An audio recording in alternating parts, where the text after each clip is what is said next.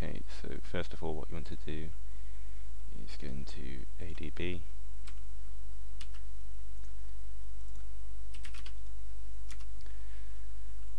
and you're going to want to run it as root.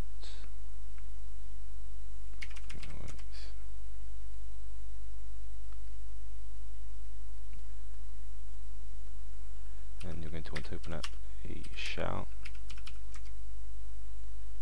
For some reason mine looks funny don't know why.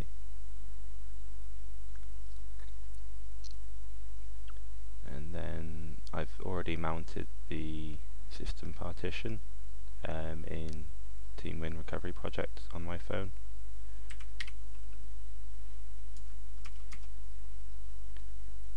So now it shows you the system root and you can see it's 97% fill so that's why it won't install um, but what's wrong is that's only well, almost 1.7 gig.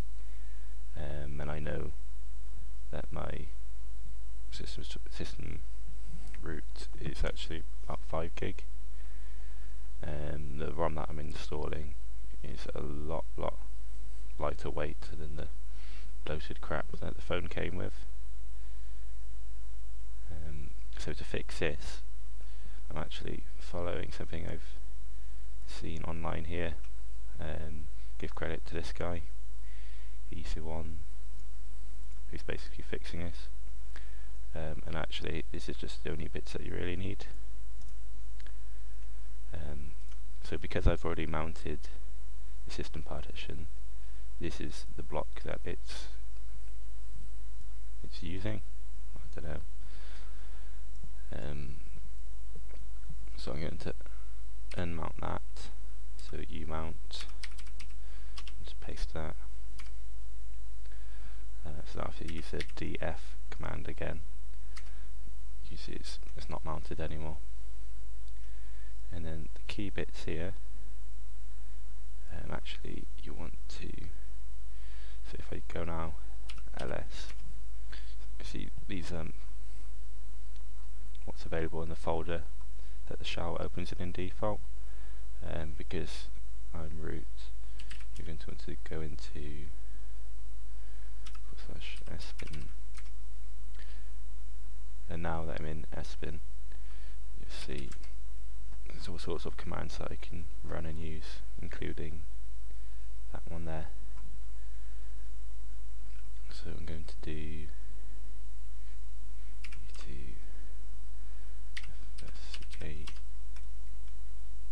that.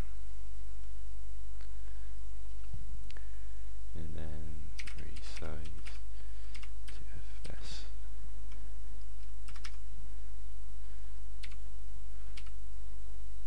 Actually I should have done a um, minus F in the one below.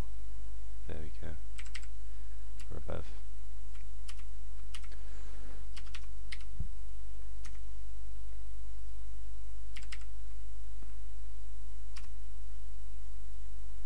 and that's it. Um, so now, just to show that the file system has more space now, if I mount system,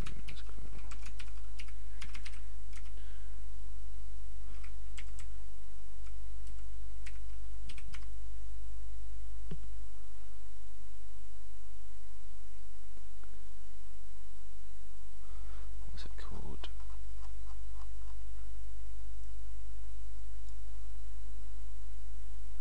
forward slash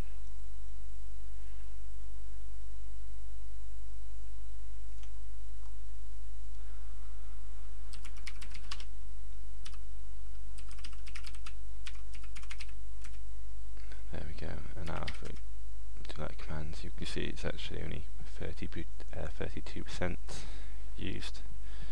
Um, there actually is 5 gig on the system root partition.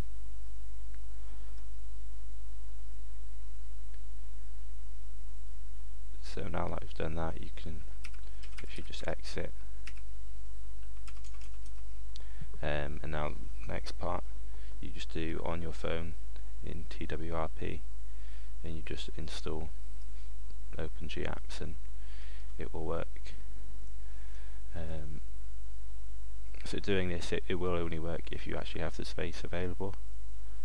Um, so mostly if you've got a newer phone, um, then this will likely work. Um, if you've upgraded a few Android versions and you've got a, a shitty phone, um, then this won't work. But you may be able to follow this guy's instructions um, and actually increase the system partition. Um, but to do that you have to um, reduce the data one first. Um, and I think this only works on older versions of Android as well. But hopefully this helps.